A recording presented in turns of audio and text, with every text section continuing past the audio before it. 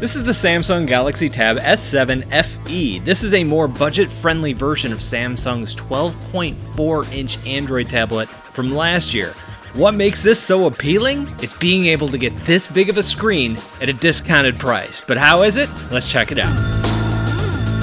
Hello, my name is Brad. I review tech for creative professionals. I'm going to be taking a look at this particular tablet today from the point of view of an illustrator. So I'm not really going to touch on everything that the tablet can do, just hit those major high points that I find interesting. Now, in order to do that, I'm going to be comparing this a lot to last year's Galaxy Tab S7 Plus, which was Samsung's first 12.4 inch Android tablet, and a device I loved a lot because I think in order to understand the value and what Samsung's doing here, we do have to pit it against its larger, or I shouldn't say larger, its more expensive and more specced out brother. Quick note over on my website where I compare all of these devices, I did recently add an Android page just for tablets that I have reviewed. So if you're doing some research and you just want to find everything in one place, check that out. I picked out the 5G model, which is a little bit more expensive than the base level Wi Fi model. And the main reason why is because the Wi Fi model is not yet available here in the US where I am.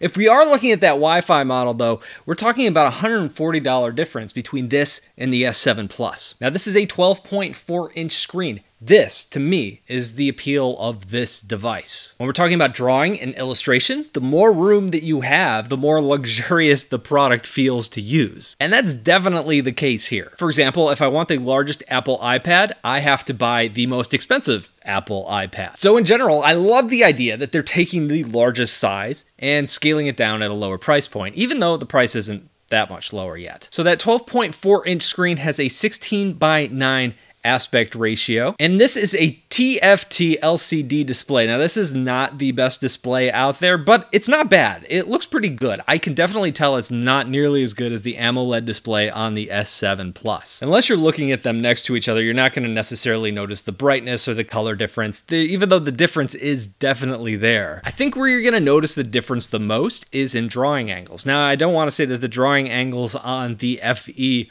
are really bad. They're just not as good as they are on the S7 Plus. If you're looking at it straight on, it looks beautiful, but if you have it tilted down, you are going to notice a difference if you like move forward or tilt your head to the sides. The color is going to shift on you a little bit. The resolution is the same as the S7 Plus. We have 2560 pixels by 1600 pixels. Another big difference in the screen is that this only has a 60 hertz refresh rate instead of 120 hertz refresh rate. So you're going to see that if you're looking at them next to each other. You might miss that if you have that on your phone. Personally, I don't think it's that big a deal, but it really depends on the person. They scaled down some of the other specs as well. For example, the AKG speakers, there's only one on each side instead of two. I can definitely tell there's a difference, but I will say it still sounds really good. The base model FE comes with 4 gigabytes of RAM and 64 gigabytes of storage. However, if you jump up to the 128 gigabyte model, that's going to go up to 6 gigabytes of RAM. And lastly, if you want 8 gigabytes of RAM, jump up to the 256 gigabyte model. There's also a micro SD card along the side, so if you do want more storage, you can add it in yourself. This is the same battery as the S7 Plus, and it also has fast charging with the included USB charger. There's also an 8 megapixel camera around the back and a 5 megapixel camera around the front. That 5 megapixel camera on the front also does 1080p video, so if you're into video calls,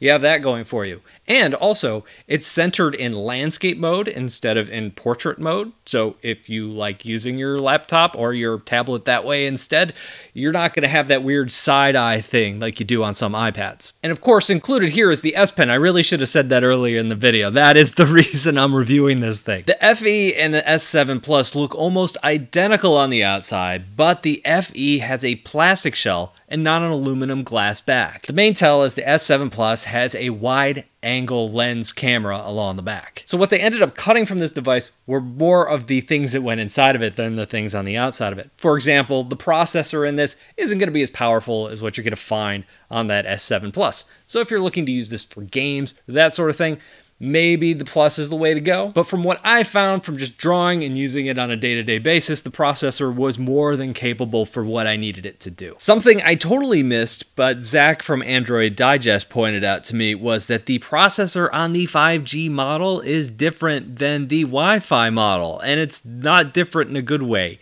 it's not as good. And if you're paying more, you would expect that the 5G version would at least have the same processor, or if anything, a slightly better one. So maybe stay away from the 5G version. I also have a keyboard case that I got for the S7 Plus. That works here as well. I've said in other videos I wasn't necessarily a particularly big fan of that keyboard case. The keyboard itself is fine, typing on it is fine. It was the mouse and the cursor seemed to be kind of laggy. Sometimes it would take time to wake up. Also, the keyboard case doesn't snap into place. It's not held in place by magnets, so it seems kind of wiggly when you're carrying it. It feels cheap when you attach it to a really premium device. Samsung also has a new keyboard cover that they've rolled out for this device. I don't have one because well, I'm kind of cheap, but that one doesn't have the trackpad. So if you take the trackpad away, that probably is going to remove a lot of my complaints about the old keyboard case. Let's talk about the S Pen because this is really the reason I really enjoy Samsung products. The S Pen is a fantastic stylus to draw with. The main thing that I'm looking for in any kind of pen is just one, how smooth are the lines? The lines here are very smooth.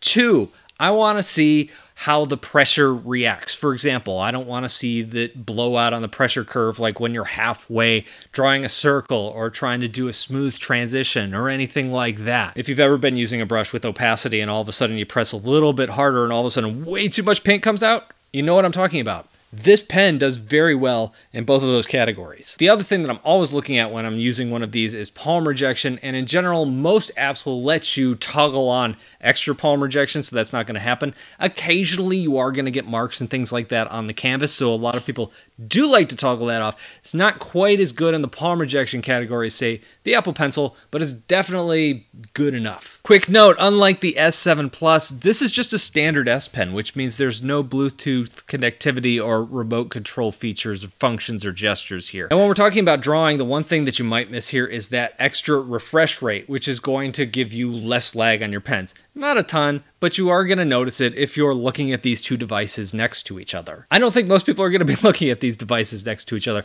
Honestly, I think the 60 hertz refresh rate is absolutely fine. It's nice to have more, but you don't need it. The S Pen has a rubbery tip. Hard plastic styluses tend to slide around on glass screens like this. What the rubber tip does for you is it gives you more control. It does take a little bit of time getting used to, it doesn't feel natural, and I would not recommend putting any kind of screen protector on this, at least a textured one, because that's really going to wear down this soft tip quickly. The pen does magnetically attach along the back, it stays put, that is a good magnet. It also magnetically attaches along the top, that's not a particularly great magnet, that's going to fall off. So if you attach it on the top or along the side, whatever you want to call that, and slide it into into a bag, your pen's going to fall off. You might lose it. Now, whenever we're talking about an Android tablet, if you're looking at this versus Windows or an iPad or something like that, the big thing that I always point to are the apps. Now, there are some apps on Android nowadays that I absolutely love. For example,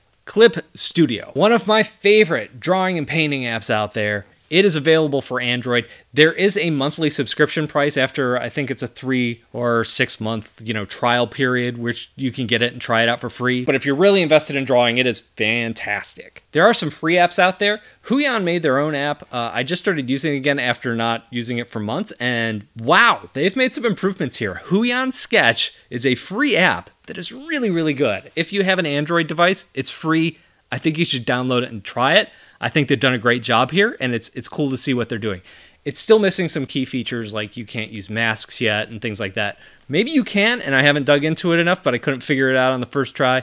But either way, I love where they're going with that, especially for a free app. Another one I really like is Infinite Painter. There's ibis Paint X. That's free. Infinite Painter has some in-app purchases, but it's still a very good app. There's Sketchbook made by Autodesk, another really good app if you sign up for an account there. That is also free. One thing I hear about a lot in the comments, so I'm going to mention it here, is a feature I never use, which is called DeX, which allows you to take your Samsung phone or your Samsung tablet and basically plug it into a monitor and use it as, you know, a desktop computer. Conceptually, I like the idea.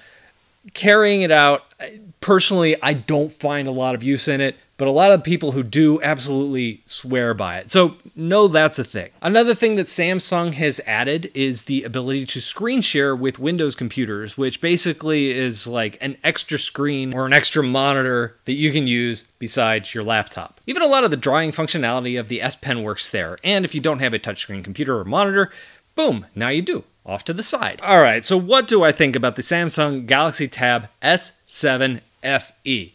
Overall, I think it's a great product. But, and you all feel a butt coming on here, I think the price is a little too high. For example, last year what Samsung did around this time, maybe a little earlier in the year, is they released a product called the Tab S6 Lite. It was one of my all time favorite Samsung tablets. Not because it was the best Samsung tablet, but because it was the cheapest Samsung tablet. But the things they cut weren't the things you absolutely needed, right? The processor wasn't the best. The screen wasn't the best.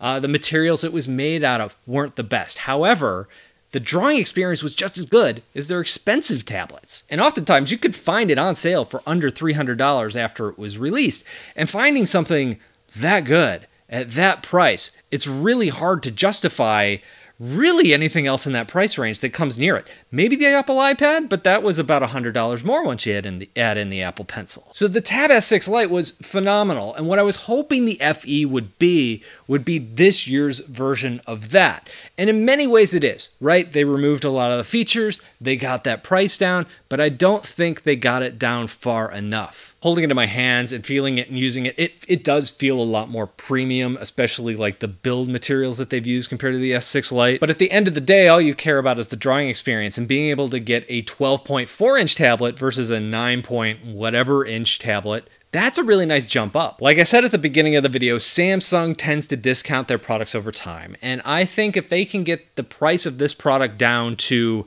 I don't know, f- under $500 down to $400. Heck, if you could get this for $400, a 12.4 inch tablet for $400, that is an amazing, amazing deal. Heck, even at $500, getting something at this size, I think is definitely justifiable. Right now, I don't think the price is there. Right now, I think you might be better off spending that extra money and, and, going up and just getting the S7 Plus. Or what we might see is them release next year's version, the S8, whenever that's going to come, and hope that the S7 Plus goes on sale then. Either way, I think this is a really good product, and I have no problem recommending it it's just the price that's holding me back a little bit. I don't think the price per value is quite there yet. I think it will be in the future when this gets discounted. So maybe hold off for a few months and see where this goes. So that's all I got for today. Do you have any questions about the FE edition of this tablet? Let me know down below in the comments. Thank you all for watching, and I'll talk to you in a couple of days.